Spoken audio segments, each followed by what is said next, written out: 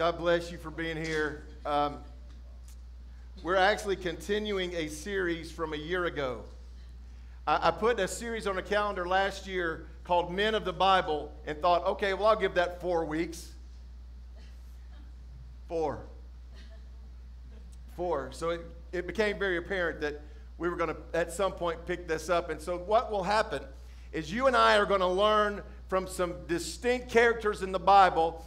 Um, sometimes we're going to learn by the way they do things correctly, and sometimes we're going to learn by the way they do things stupidly, incorrectly. Maybe that's a better word. And, and then we're going to kind of climax this whole thing on Father's Day. So here's what I need you to go ahead and start doing. Go ahead and call dad, call brother, call any man that you know that would benefit from a message that would cause him to step into his God given leadership role as a man of God. You call them and get them here on Father's Day. Will you do that? Two of you is going to do that. Are you starting to get the trend here when I say you're going to do that? I won't have to repeat myself if you'll go, Yes, we will do that. See, there we go. Say thank you. Give me a what what, Clint Banks. Give me a what what. I, yeah, thank you. Thank you. There we go. I'm just in a silly mood today. And part of that, I, will just, I told them in the, I told them in the, in the prayer room, y'all are going to laugh at this. And I, I may have told you this before, but a lot of times on Sunday mornings, before anybody gets here, I'll come out and I will preach my sermon to an empty room. I know you think that's weird, but you do this 48 times a year, and you'll see that it, it, it's a little hairy sometimes.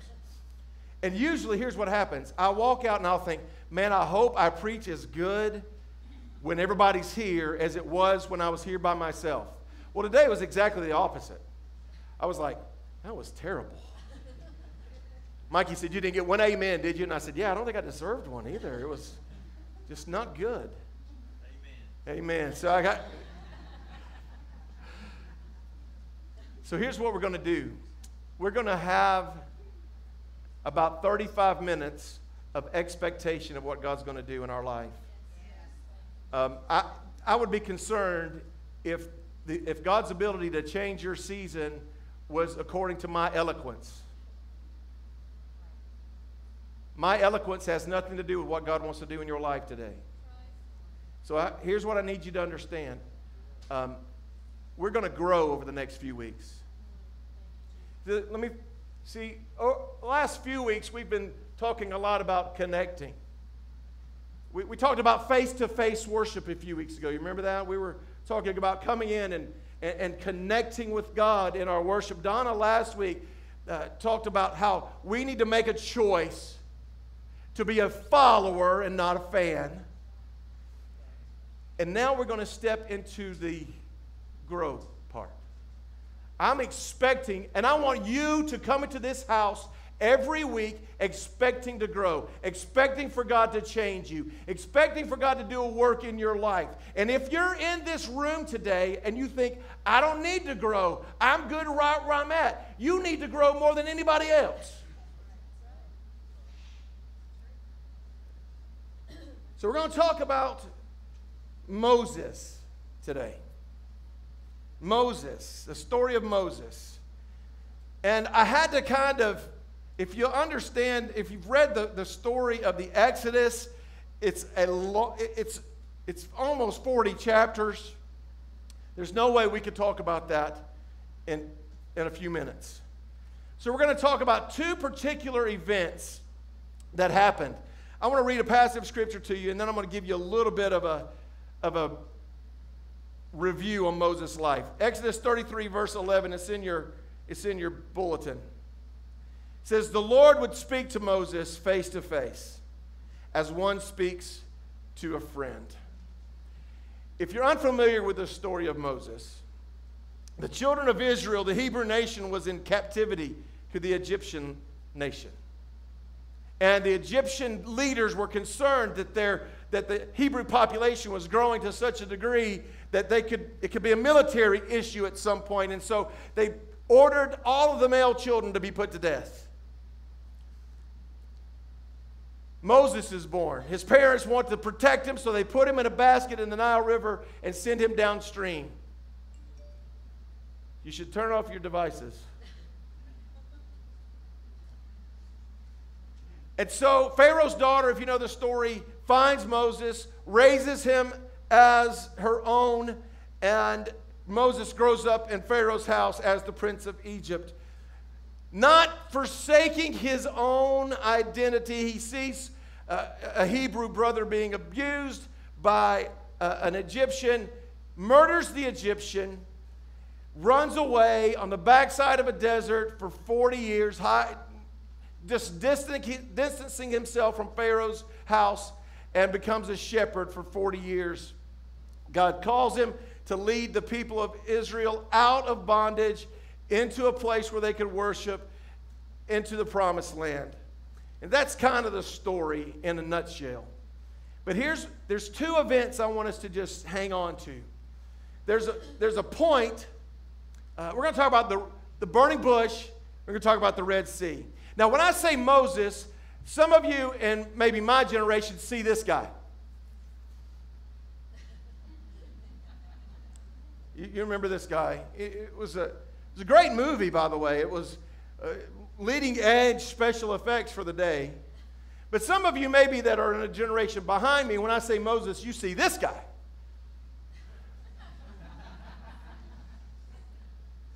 the story of Moses is one of the most powerfully illustrative deliverance stories that you could. It's an epic.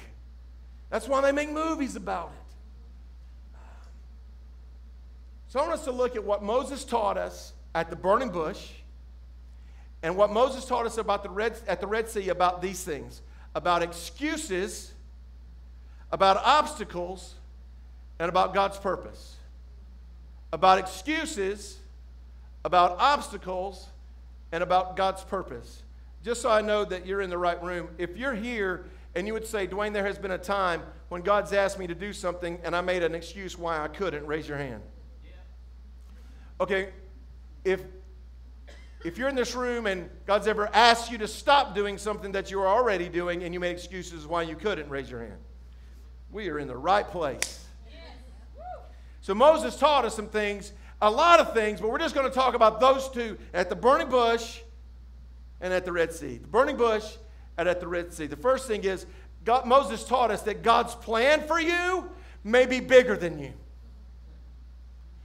Now, if you watch the Charlton Heston version of the Exodus, you're going to see him leading about 300 people across the Red Sea. Now, what scholars tell us is there could be as many as 2 million people. 2 million people, all the livestock, all of the, their stuff, their, you know, enough U-Hauls for 2 million people And God says, Moses, I need you to take these people away and, and, and lead them. Would you be a little intimidated at a task that size? I'm going to tell you that God may put something in your path that is bigger than you. God may give you something to do that is bigger than you. God may ask you to stop doing something that you think is bigger than you. So, what do we do in those moments? Uh, see, I can't speak to you from your perspective. I'm going to I'm gonna speak to you from mine. Because here's how, how my life has worked. I remember not long after Donna and I got married, Pastor Jim Talley at the Doraville Church of God said, Dwayne, I want you to lead worship on Wednesday nights. I can't do that, Pastor. Yes, you can. But I, I, I can't do that. I, I've never done that. I don't know. You, you can do it. I just began to make excuses as to why I couldn't. And, and you know what? For about six months on Wednesday nights, I, I led worship. And then we fast forward a few years, and Donna and I are serving as youth and Christian education directors at a church not too far from here. And our worship pastor leaves. And our senior pastor comes to me and says, Dwayne, for a little while, turned out to be five and a half years, but for a little while, I need you to take care of the choir and, and, and direct our music. And I said, I can't do that. And he said, Yes, you can. And so for five and a half years, we, we did that. And then we wind up at, an, at a job interview in Statesboro, Georgia, and I realize I'm following a nearly church fatal moral failure. And I've been called in here to pick up the pieces. And I said, I can't, I can't do that. This time it was God. He said, Yes, you can. Fast forward a few years later, and I'm circling that campus with almost a fist in heaven saying, God, I can't plant a church in Loganville. Yes, you can. I need you to hear something. If God doesn't call you to do something that's bigger than you, you don't need Him.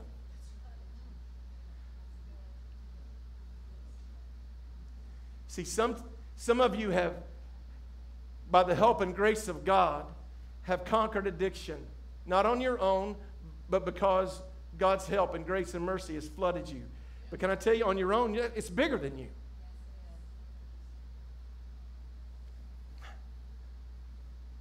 So I'm just going to start this sermon by saying, expect God to stretch you. Expect God to do something that you, it blew Moses' mind. And you're going to see just a minute how he began to give God every reason, and some of them legitimate. So, why he can't do what God asked him to do. But God had a plan. If, if God had a plan for Moses, does he have a plan for you? God had a plan for Moses. Does he have a plan for Joy Shaw and the Lundys and Daniel Robertson? Does God have a plan for you? He absolutely does. His plan, God's plan was to bring his people out of captivity. Their purpose was to worship. Now listen, here's how, here's how God laid this out in front of Moses. Verse 12 of chapter 3 says, And this will be the sign to you that it is I who have sent you. When you have brought the people out of Egypt, you will worship God on this mountain. Do you find it interesting that he didn't say, when you brought the people out of Egypt, they'll set up agricultural systems and they'll have families and communities and they'll, they'll form a brand new nation. So he said, he said, I'm going to bring you out and you're going to worship. And, and I need you to hear me.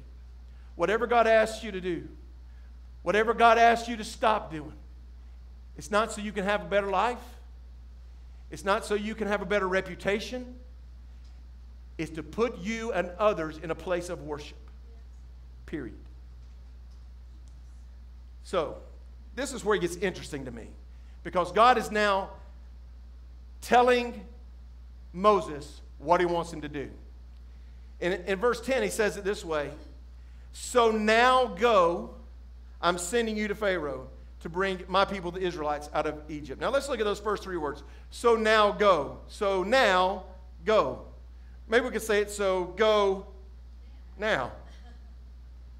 So now go. So now go. How many know that delayed obedience is disobedience?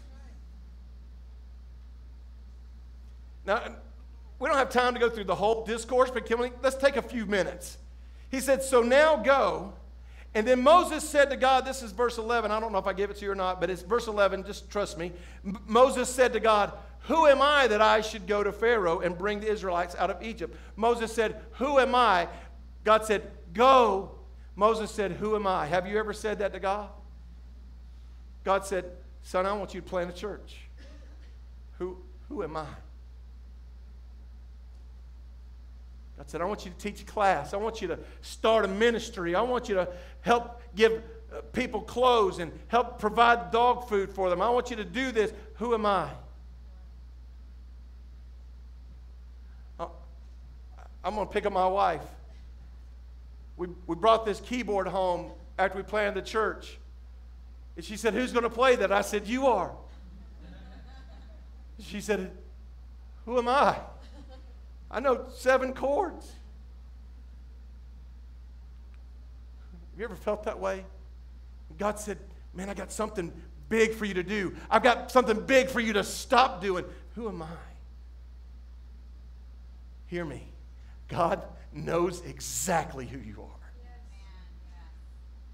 If, if God didn't have confidence that Moses could do exactly what God had called him to do, why would he have bothered having the conversation with him? Moses w- was known by God, and God knew exactly all about Moses' inconsistencies and all his failures and all of his problems and all of his insecurities. And God said, Go now.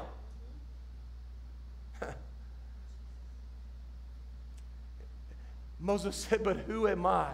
And God answers in just like this I know who you are, and it doesn't matter.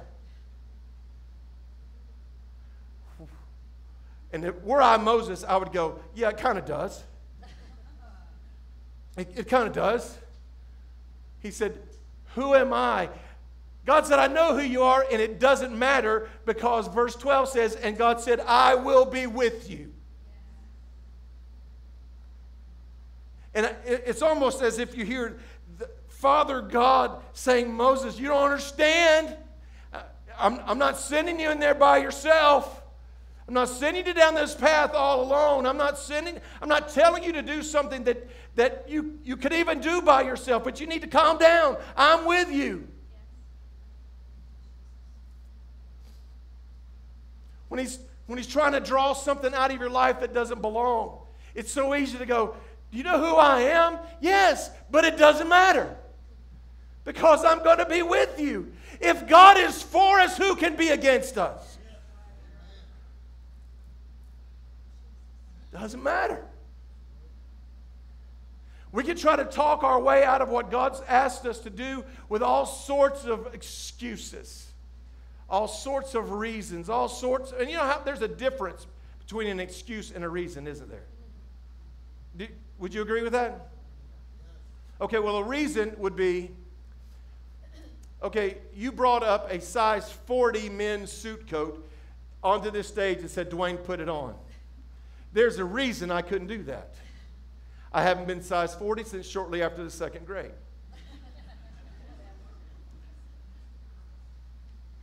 Now, I'll, i could try. If I got it on, it wouldn't come off. But what if? Now, there's, that's a reason. You with me? Here's where the excuses come in.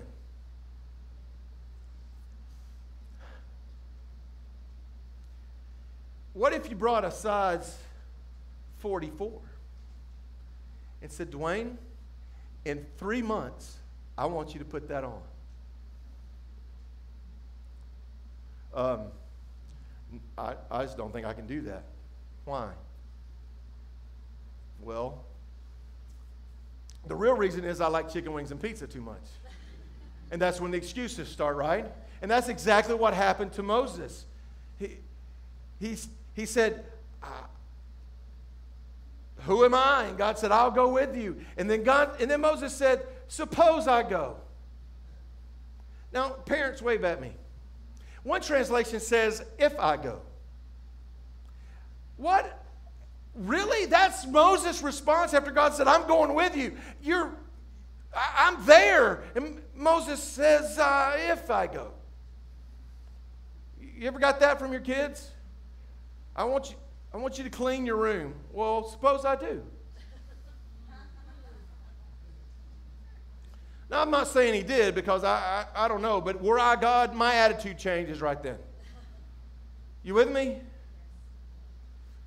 Suppose I go. What if I go? I don't have the ability, I don't have the tools, I don't have all the stuff I need. And here's what God said He didn't say, you know, I'm going to teach you, I'm going to, I'm going to Uh, equip you. He said these words What's in your hand? Moses is making all these excuses, and it's like God said, Stop. What's in your hand? Moses looks at his hand. You know what's there? Stick. It's a staff, but really what it is, it's a big, heavy stick. Moses, what's in your hand? A stick. Just so you know who I am, throw it on the ground. And Moses throws the, stick on the ground and it becomes a snake. And I'm thinking, it even says in, in, in Scripture, Moses is freaking out right now. He's like, What is going on? It's a and he's like, and there's nobody here to see it. My greatest golf shots have come when there's nobody else around.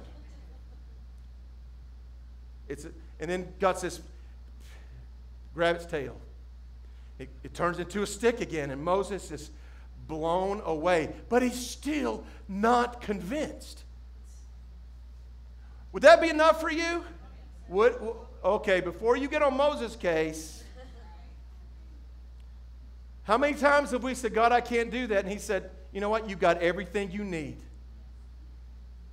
Well, I, I can't play at church. I don't have any money. I, I, I, can't, I can't stop this addiction. I don't have the willpower. You've got everything you need. What's in your hand? See, you, what, what Moses didn't realize is all of that time on the backside of a desert wasn't there, he wasn't there in vain. Moses wasn't there tending sheep. Moses was there learning how to lead. What's in your hand, Moses? Someone ask you for that thing that God's asking you to do. What's in your hand? What special skill, what incredible talent has God put in your life that you've been, you, you feel like you've been cultivating in obscurity? Nobody knows it's there. Listen to me. God's got a plan. And God's all that you need to be obedient to God is what you already possess. What's in your hand? And we still make excuses. Listen to me. Let me tell you what an excuse is. An excuse is a lie with a teaspoon of truth. See, if you keep reading down, Moses would say, I can't go because I don't speak well. I have a, I, my tongue gets tangled up. I, I can't go because I don't speak well. And see, that's a lie with a teaspoon of truth. The truth is, he doesn't speak well, but that doesn't mean he can't go.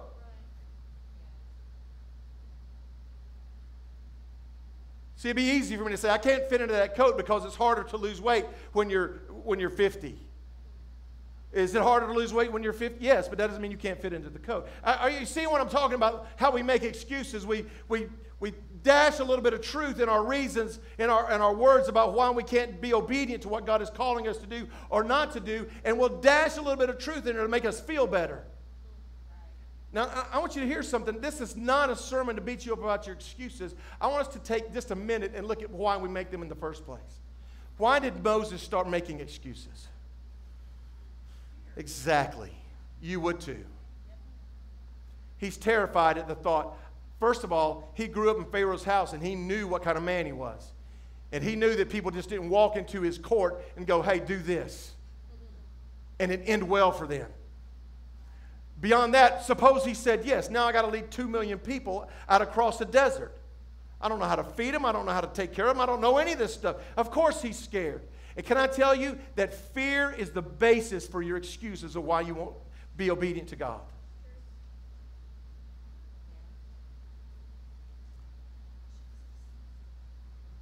It's not a giving sermon, but that's what I, that's what I hear when people tell me why we can't be generous. Well, I'm afraid that if we do this, we won't be able to do that. You with me? Could it be? Could it be that an excuse is the devil's roadblock to get that, that's blocking you from getting to where God wants you to be? Could it be that if Moses just dug his feet in the ground at the burning bush, what happens? Are the children of Israel still in Egypt? No. You know what God does? He finds somebody else.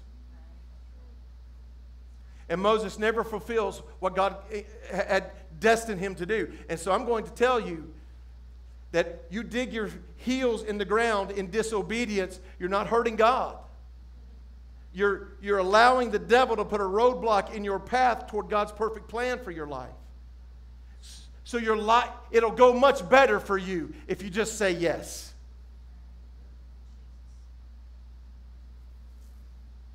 Oh, I don't want to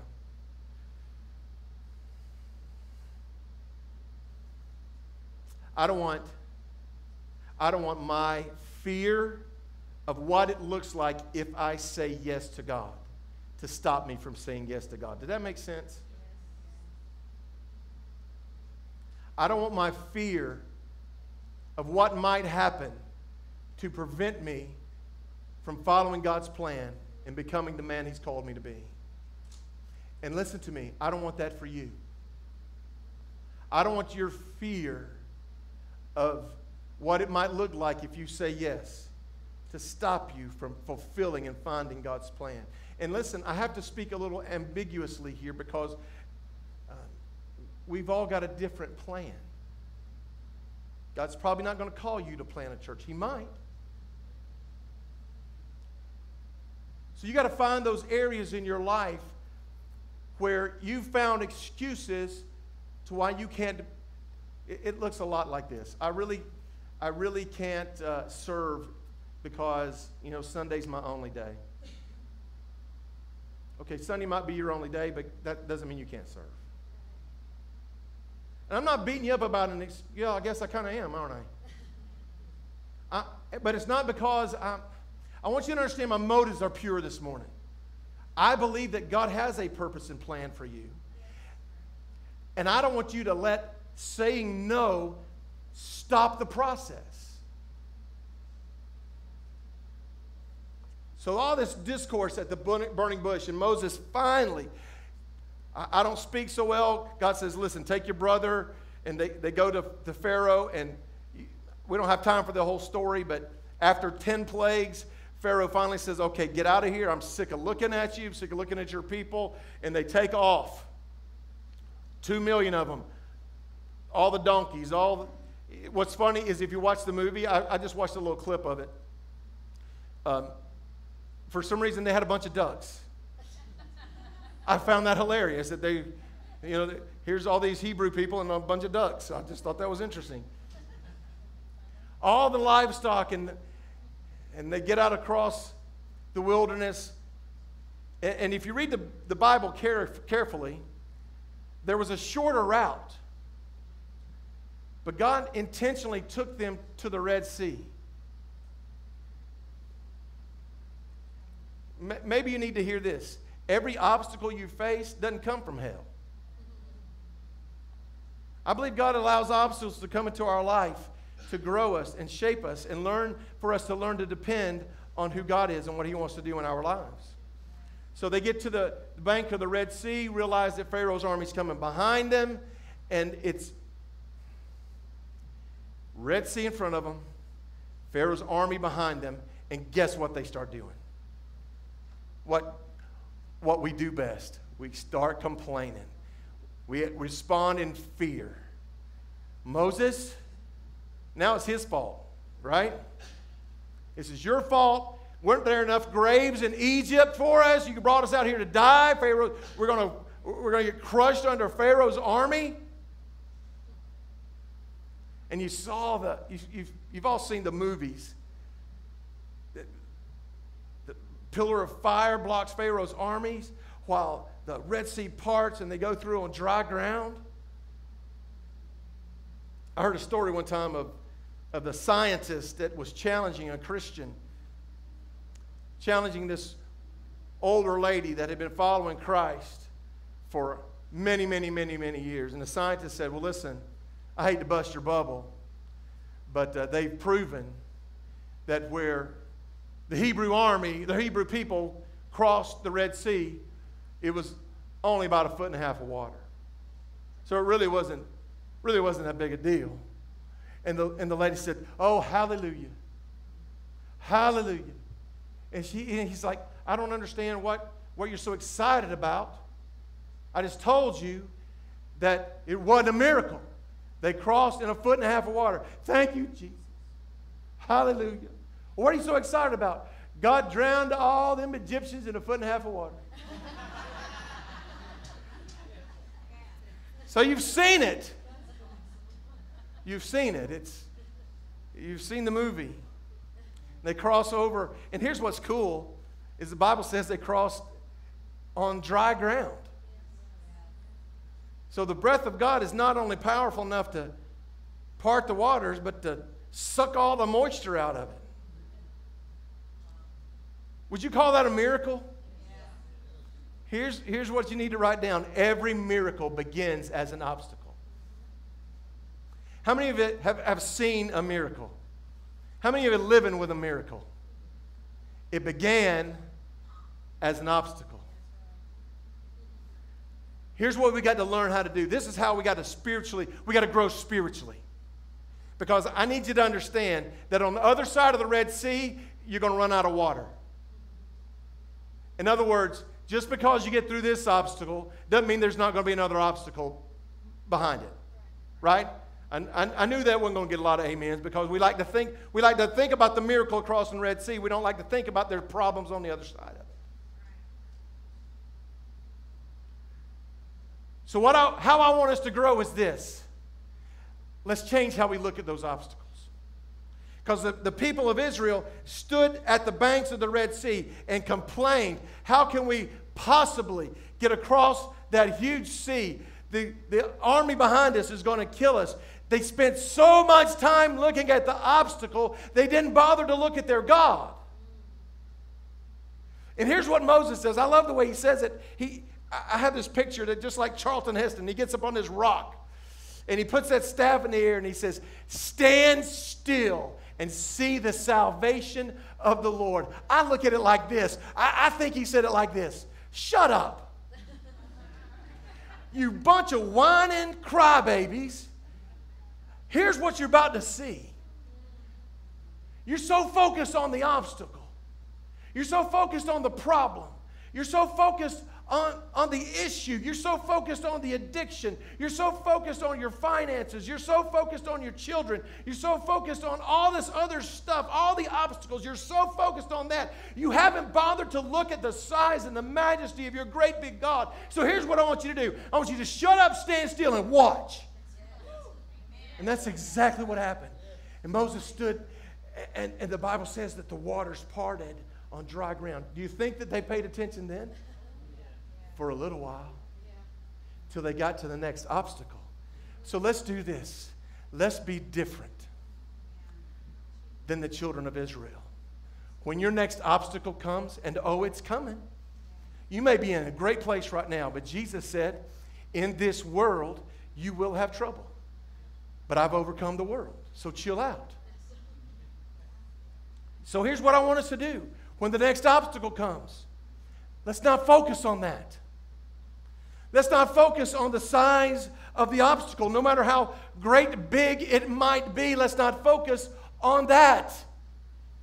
Let's not focus on the relationship, and let's not focus on, on, all of the things that we that human nature compels us to focus on and focus on the greatness and the majesty and the all powerful God that we serve. Shouldn't that change our perspective? When we come to those obstacles, listen, just quit looking at the obstacle. Listen, some, I know some of your stories, and you've jumped over so many hurdles. You're like a track star. And if you focus on, on, on the next hurdle, hmm, so our focus is going to be on our great big God. So here's what I'm going to do I'm going to give you five things in about five minutes. And I hope we're going to do this each week. We'll call it from one life to another. We're, what, can we, what can we transpose from Moses' life and Moses' story that we've talked about to our life? I'm going to give you five things, okay? Here we go. First thing, just as a reminder, you may think you're tending sheep, but you might be learning how to lead. You may think you're tending sheep. In other words, you may think that what you're doing that where you're at isn't benefiting you or anybody else, but you don't know what God might be doing in your life behind the scenes. You don't know what, how He's growing you in ways that you don't even recognize that you're growing. In other words, let's say it like this Don't despise the season in your life when you don't know what God's doing. Because just because you don't know what God's doing doesn't mean He doesn't know what He's doing. That's the first thing. The second thing, stop with the excuses. Okay? Can we just covenant together that we're going to be a church? We're just not going to make excuses like that. Well, God, I can't because. I'm not going to because. I can't because. I can't because. I can't. Yes, you can.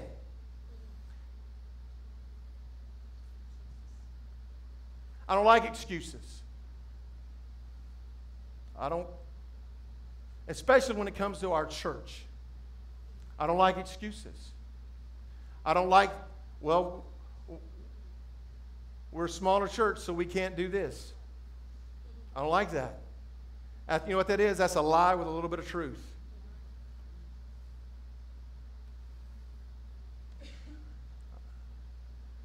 I'm going to tell you what I think.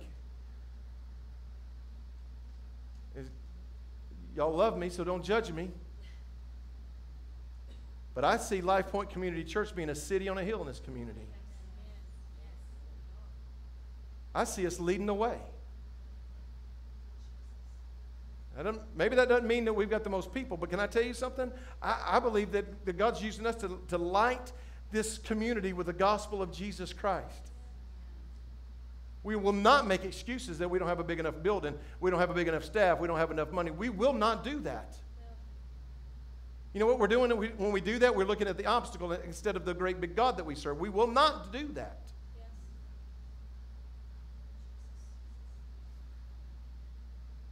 Stop with excuses. Number three, practice instant obedience. Maybe we should change our little phrase. We always say, listen to God, do what he says, right? We always say that. Maybe we should add a word. Listen to God, do what he says now. Listen to God, do what he says now. Can I give you a challenge? Oh, see, I. Uh, sometimes you get up here, and like I'm, I'm a person that I don't like to make people mad. But sometimes you get up here and you, you feel the, the Spirit of the Lord on you and just quit caring. it, eh, you know, you guys are taking notes and watching the screen and you're getting involved in all this. If you, if you really want to put your money where your mouth is, do this.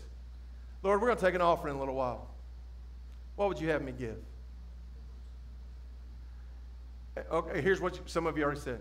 Well, I, I gave them line before we came. It's not what I asked you to do. And listen, listen, I'm not, I'm not pulling money out of you. That's not what I'm trying to do. I'm just saying, if you really want to see how this works,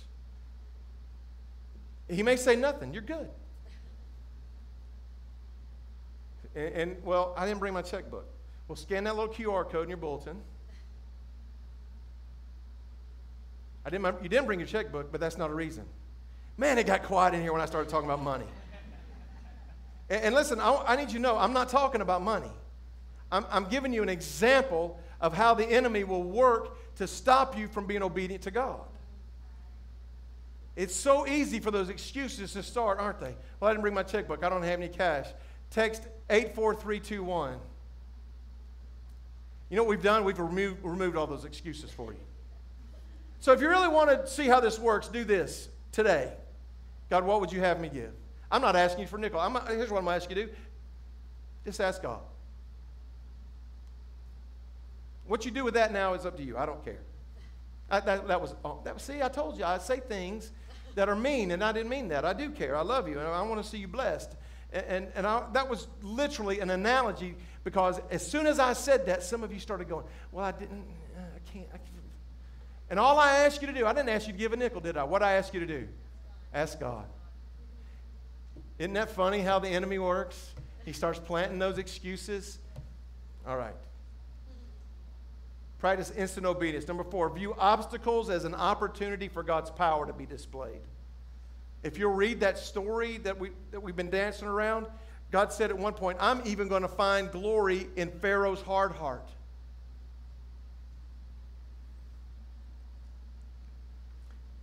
Can I pick on, I'm going to pick on joy for a minute. Because I, I, I watch, I, am a people watcher. Any other people watchers in the room? Okay. I, Joy had this tank that she was driving. She called it the ministry machine. But, but can I, listen, she drove from Marietta with this thing packed full of garbage bags, and it was really, you know, I, I wouldn't say this when she was still driving it, but I, I think it was duct tape and zip ties that was keeping this thing on the road. And, and it'd been real easy to look at that as an obstacle. But she didn't. You know what she did? She, she filled it full and said yes to God. God, if, if you want me to get this stuff to the other side of metropolitan Atlanta, I'll put him in my truck and I'll get it over there. And there's been times we had to help her get home. You know, so we learned to keep zip ties and duct tape in the church here. Well, God just miraculously got her a new vehicle. So we don't look at the obstacle. God knows what you need, God knows where you're at. Let's, let's be more concerned with our obedience and stopping with the excuses and let God worry about the provision. That was a better line than y'all responded. Let's let God worry about the provision. Let's just be, let's do what we can do. Any providers in the room? No. Any creators here? No. But you can be obedient to the creator and the provider of all things. All right. And lastly, never forget your purpose. And I need to take two minutes and, just, and, and explain what I mean by that. Because your purpose is the exact same purpose as Moses' purpose. Okay, Dwayne, now you lost me. So what you're saying is, what my purpose is, is to lead the Israeli people to the promised land. No, that wasn't Moses' purpose, that was Moses' task.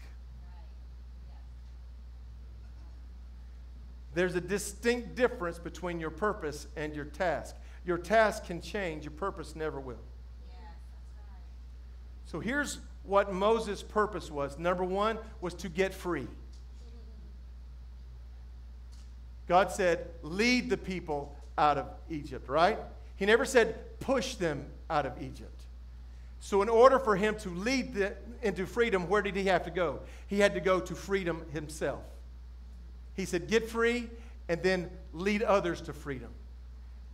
Your job, your purpose is to get free. See, if, if you're here in this building and you're still bound with the chains of sin, you can get free today, right now. Today. Well, I might later. No, today, right now, you can get free. If you're bound with a chain of sin, you can get free today. So does that mean my life's going to be perfect from this point forward? Nope. You're going to face an obstacle probably before you get out of the parking lot. But you can get free today. So purpose number one, freedom. Find freedom. Get free. Purpose number two is get somebody else free. You know what we got in, our, in, in the North American church? A lot of people that'll say, well, guess, bless God, I'm free. I'm just waiting on the trumpet to sound. You might want to be careful with that.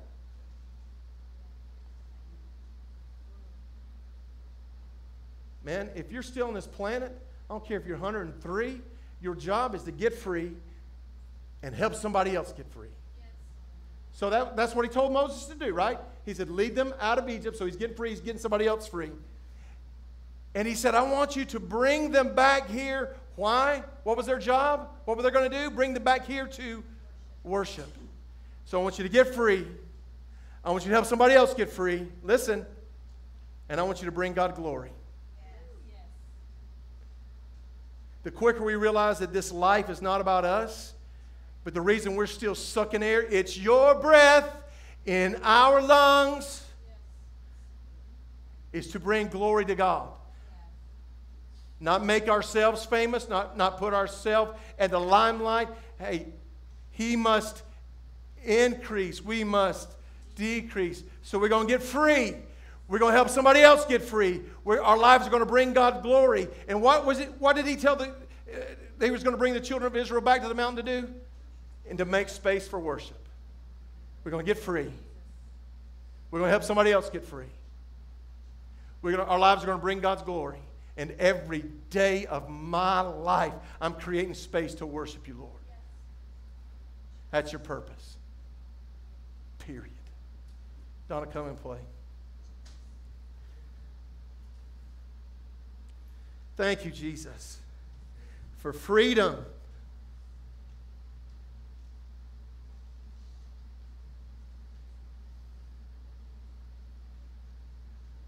Father, forgive Dwayne for all the excuses. Oh, but they're stopped today.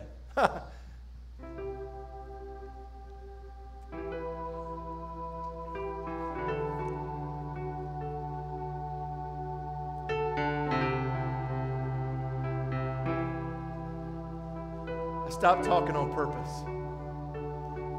In the quietness of this moment, here's what I want you to do. I just want you to talk to God. God, what if, where are you trying, where are you trying to take me that my excuses have prevented me from going there? God, what, you, what is it that you want out of my life? And I found every excuse in the world why, I can't do that. And what obstacle am I facing that's preventing me from my purpose?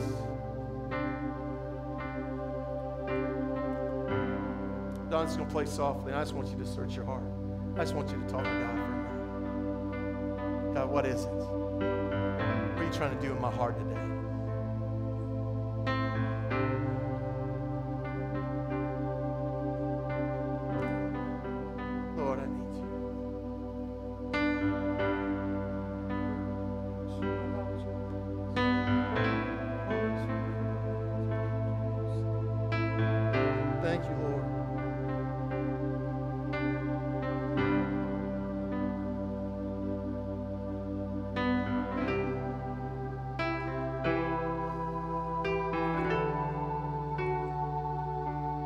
Pray for you.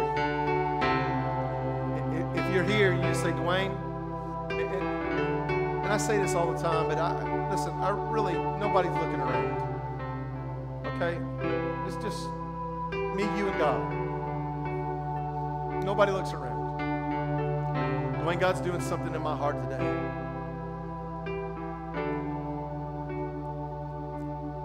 Maybe that's that's the best way to say it. Dwayne, God's doing something in my heart today. Just put your hand in the, air so I can see.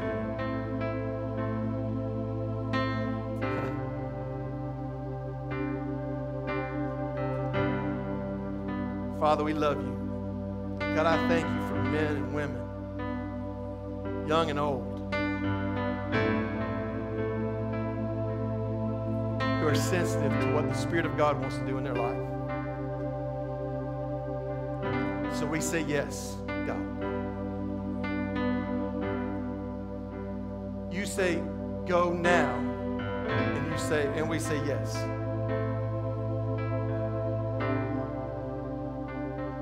You say do, and we say yes.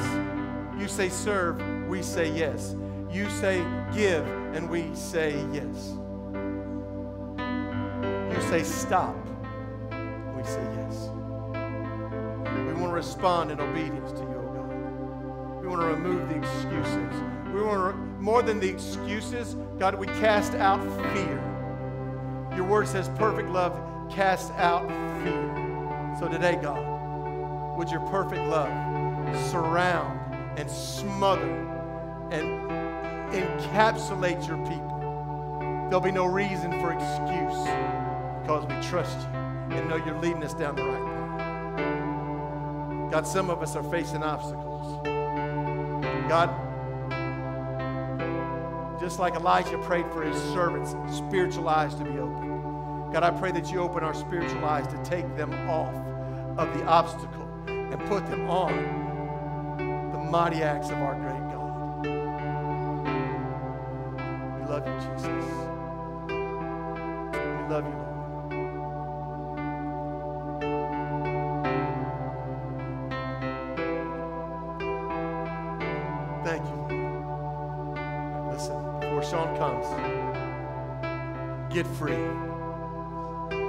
Somebody else get free. Live your life in such a way that you bring glory to God. And every day of your life create space for worship. You ought to give God praise in Jesus' name. Yes.